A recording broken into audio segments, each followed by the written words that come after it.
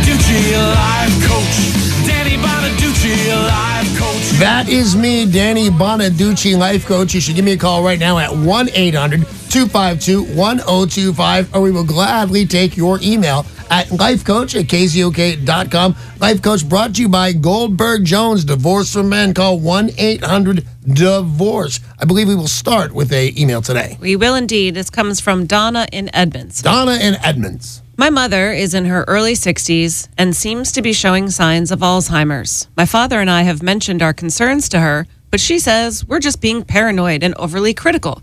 She says her occasional mental lapses are just ordinary symptoms of aging.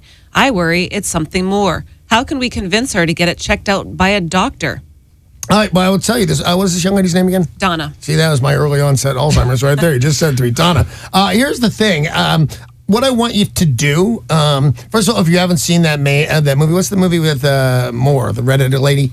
With Julianne Moore. Oh, yeah. Still Alice. Still Alice, thank you. Uh, you might want to take her to see that because it's like I could say um, my vision, which appears to be 2020 to me still, nothing has happened until I look down to read the fine print. And I went, well, I can't read that. Like that's my my. It's early symptoms of aging. Yeah, but get glasses. There's all sorts of Alzheimer's tests, early onset Alzheimer's tests, things like that that you can do online. You can go right there, and you know what? You can take them side by side. So if she's saying uh, uh, like taking a test with her husband. It's not the same as taking it with you because you're younger. And what she's doing is she's admitting to she's having memory lapses, but it's due to you know getting older in life. Which, by the way, she might be right about that. So these Alzheimer's tests will be a, a blessing for you too. But if she's taking them with her husband or one of her friends, you know, and if she's getting smeared, if you will, uh, by somebody, then she might look into it. But that's what I would do first: get her to believe that this is not just old age, or get you to believe, oh, maybe that is normal. Because it, you know what? If you go and see this movie, Still Alice, when it starts,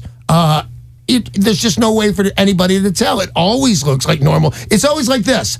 Where the hell did I leave those keys? Now you say it one day, and it's well, where'd your keys? Say you all that all the time, and the next day, where the hell did I leave those keys? And it's early onset. It's different. It's a different reason for not remembering where the keys are. So go online, take some take some tests, and find out one way there's this normal aging process, or does she have somebody something to look at? And there's all sorts of medications and things to do now that there weren't 20 years ago. So it's a great idea for you to find out. So uh, go online and get one of the tests, and so while you're online and you get the the result, hey man, this is too much memory loss for a person in their early 60s. You need to see somebody. They'll have a recommendation of the people that she should see, and they should follow up on it either way. If you've got a question for the life coach, you call right now 800 252 1025. Remember, you can lie about your name if you would like to stay anonymous. If you'd like to email, it's available 24 7, lifecoach at kzok.com. Chrissy in Seattle has sent an email. I'm lucky enough to have a job. The hours are 6 a.m. to 2 p.m. I drive 50 miles each way. In the morning, my commute is light, just 45 minutes. Uh, however, afterwards, it's one and a half to two hours. My employer wants to change my hours to 7:30 to 4:30. You'll be there all day.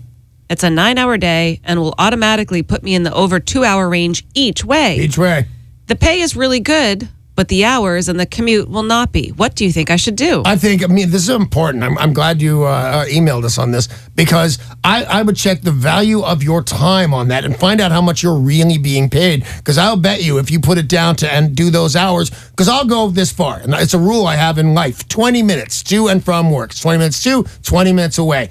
If it's more than that, and give it a give it a half hour, that's fair. Now that other hour and a half that you could be in traffic, you need to uh, send your pay that way when you split it up, and you're not getting paid nearly what you think. Now, if you're thinking uh, it's just wasted, it doesn't. It doesn't have to be. I don't like it. I wouldn't do it. I would never recommend that anybody does uh, more than an hour, anywhere near an hour. Having said that. It's a perfect place to listen to books and a perfect way to learn a foreign language. I, I got the real uh, uh, uh, rudimentary uh, grasp of Japanese in my car. So it's not a waste of time, but my money is against it. I don't think anybody should do it. I think it's mind numbing time. Uh, so I would say get a better job before you quit that job. Always keep the job you've got, but it's nothing's worse that kind of commute uh, unless it's super voluntary. Um, friend of mine that used to work here, Bob Rivers, lives right next to Snoqualmie Casino. And I, I, what the hell? Why do you do that to yourself? We had a little farm up there. He had vegetables. That was his choosing, and that was what he wanted to do. I would never recommend that to anybody. I'd say keep your job while you search for a better job. And when you get one, remember, they don't even have to pay you as much for them to be paying you as much. Consider your time. 800 252 1025. That is the number to call with any kind of problem you have because Danny Bonaduce, life coach, can help you. Mandy, you're the next caller. Hey, Mandy. Hey, Danny, how are you today? Very well. Thank you for asking. What's up? Hey, man, I got an almost 18 year old son who I love very dearly, but he's calling me all sorts of horrendous names that I just can't handle. I have sleepless nights over this stuff, and I just don't know what to do with it anymore. I've tried to punish him. I've taken the keys away from the house once before. But had him, had him live at his friend's house. It's just not working out. I'm not sure what to do with him. Well, it sounds to me like you're you're on the right track. But the fact of the matter is, this is going to be a legal adult. When does he turn 18? March 17th, my man. Like in in 15 days? Yeah. All right, he need- I'll, I'll tell you, this is my opinion. That that he's going to have called you his last name. You need to have this boy out of your house and where he goes. You know, you're responsible for his physical safety in a way. He's a grown man. He can go off to war. There's 18 year olds all over the place serving their, their country and putting their lives at serious risk. He's he's an adult man. I would say I will tell you. He's called your last name. When you, you say, I took away his keys, what happened when you took away his keys, Mandy? He ended up living in a park for a couple of days and then at a couple of friends' houses. But the uh, the overcaring parent I am, I ended up going and checking on him every damn day, you know, and making sure he went to school, which he had been doing and he is now. So And is, uh, he, is he going to graduate? he not this year. He was he had to repeat a year. He's going to graduate next year, but he's right on track again. So, So he's going to graduate high school when he's 19? Yes, sir. Okay. That absolutely happens. When they said the normal age is 18, no big deal, certainly no shame. But I don't like the foot this guy is starting off to. I think you need to, you know, when you say, I checked on him every day at the park, good for you as a mom, not good for you as a disciplinarian. Uh, are you physically afraid of this kid at all? Yeah, sometimes. I thought so. Because you, wh- why would you take that? You're such a beep, beep, beep, beep, beep. And stand, how close does he stand to you when he says these things? In my face. in your face. I don't love it. Um, what I would suggest, and you know, I know you don't want to do this. I'm not going to say call the police ever when he, you don't think it's necessary. But when he's in your face, calling you names, that's as close to assault as you ever want to get. I say shut this kid down. Let him go off to the park, and you know, tough it out for set in your in your schedule when I will break down and check on him because that he's up to no good. And what's going to happen is when he graduates uh, high school at 19 years old, he's not going to have a grasp on discipline at all, and aren't going to go well for him. He's going to talk to one boss like that, and he's going to be out of a job. You need to step up. I say get take those keys away from him again. Let him have his meals and schedule appointments to come and go from your house. But having a grown man, a grown man, stand in your face and call your names. It's time for him to go and let let him choose the park if that's what he if that's what he wants to do. But the days of choosing to call you names are over. We've got time for more calls on Danny Bonaduce Life Coach, 800 252 Poor 1025. I'm sorry that's happening to you.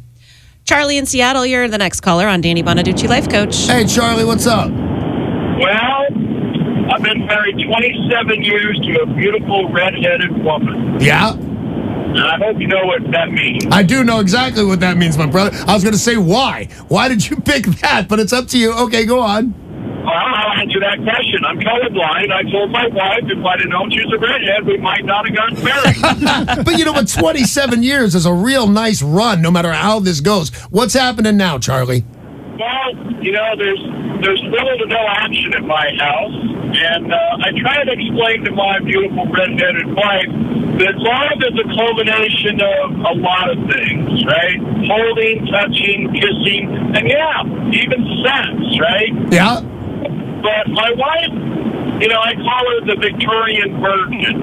And, uh, Maybe that's your problem. You call her that. well, I, I get I get way stupider than that. You know, it's like Maximus as stupidus every once in a while. Okay. So I, I just I try and break through the shell, and uh, you know, I, I just like I said, 27 years is a nice run, but you just, you think I'd have it figured out by now, but I don't. No, I would have never thought you'd have it figured out by now. I don't know anybody. that's- You're talking to a guy that's been married three times. If anybody's going to have figured it out, it would be me, and not a chance. I may be more ignorant than when I started. So uh, let me ask you something there, Charlie. What is your exact question for me? Um, she is so, you know, insecure, sensitive about her physical being that um, it's just you know it makes it tough to to penetrate. I don't, no no pun intended, but um, it's just it's just a real hard dichotomy of. Well, wait a second. Wait a second, man. Are you saying your wife is 400 pounds? No, no, she's like she's like ten pounds overweight, and she won't even let me go in the bathroom when she's in the shower. Right? Yeah, that's that's more normal than you think. Girls put on they not only uh, uh, uh, put on their face and their appearance in every regard, but they also put on their um I don't know how they feel about things. Women like uh, we have a girl that works here named named Tori, and I'll bet without her makeup that she loves to put on. She's a beautiful young girl, by the way, but I'll bet without it. She's hundred percent uh, more insecure than she is with it. With with her makeup on, she is bold. Now I've never seen the girl without it, but I'm just guessing that she is not the same girl. Let your girl put her face on and everything like that. She's, you know what? She's about ten pounds overweight, and that that's in your world with today's models and things. That could still be just rail thin.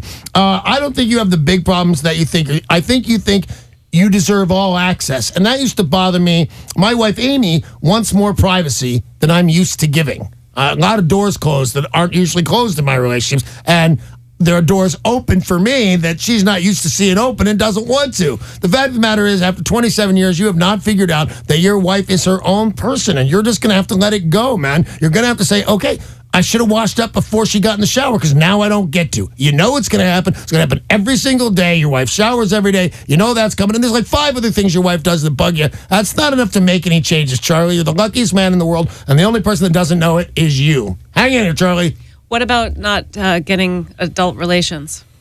Well, I I wondered about that because because he, he he said it, but Kinda then he said it skirted so around it. briefly. Yeah. You know, I couldn't tell because I was going to recommend uh, uh, uh, your Talk of Filthy Forecast, Innovative Men. That's that's kind of what they do. I shouldn't do their talking for them, but you know that's that's what I was going to do. And then all of a sudden he said her wait," and things like that. I couldn't get what the problem was there. Um, so I, I can't I can't really address that one. But I will say this that. Uh, give give into what she needs you to give into, like going into the bathroom when she's in the shower and stop being to the point where she doesn't love me or she let me in. And you'll see, I think, will open up in the bedroom. All right, we've got time for another call. Here's Anna in Tacoma. Hi, Anna. How are you? Hey, I didn't want to waste your time. I'm really sorry about that. I just wanted to know what program you used to learn Japanese in the car. Uh, I actually I learned I took this not not the, the Rosetta Stone. I think it was uh, is it naturally speaking. Uh, look up on the website if there's something called Japanese or all sorts of languages naturally speaking, and they were just repetitive things like uh, when I went to Japan because I haven't spoken it in a long time was doko yukuri hanashite kudasai. That means could you speak more slowly? So I remember all the We ones. went out to eat at a Japanese restaurant, and you were talking to the sushi chef. So the way I learned it is Japanese naturally speaking. It's on the it's on the internet and you can find it and I highly recommend it. And thank you very much. Hey, I appreciate your time and I appreciate your phone calls. That was uh, Danny Bonaduce, life coach, and it was brought to you by Goldberg Jones Divorce and Call one eight hundred divorce.